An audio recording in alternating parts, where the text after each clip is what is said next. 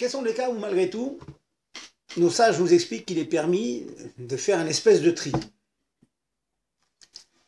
Lorsque l'acte de tri que l'on fait peut être interprété comme un acte de achila, de manger, eh bien, nos sages nous disent qu'il est permis de faire un tri.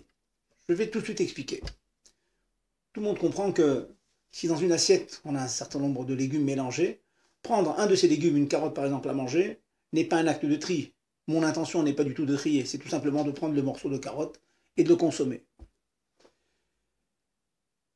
Si l'acte que je fais répond aux trois conditions que je vais citer, nos sages disent que l'acte en question n'est plus un acte de tri, c'est un acte qui est permis complètement. La formule, tâchez de la rappeler, de vous en rappeler. Beyad, miyad, ochel mitoch obsolète.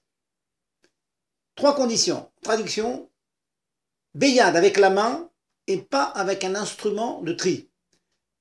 Trier avec la main, ou bien sûr au sens large, avec une cuillère, avec une fourchette, avec un couteau, qui sont considérés comme une prolongation de la main, cela est considéré comme trier avec la main. Première condition, avec la main, et pas un instrument de tri qui serait un tamis ou un éplucheur, un épluche légumes, un économe. Deuxième condition, miad. On trie avec l'intention de manger, après de nombreux poskim, dans la demi-heure qui suit. C'est considéré miad veut dire tout de suite. Tout de suite, pas tout à fait tout de suite, une demi-heure.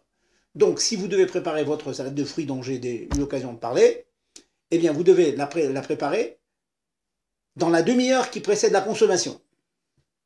Troisième condition, ochel mitoch obsolète, lorsque vous triez, les légumes sont mélangés, vous prenez ce que vous voulez consommer, le bon, ce qu'on appelle le bon du mauvais, ochel, la nourriture, mitoch obsolète, de l'intérieur des satés, obsolète, saté, des choses dont je ne veux pas.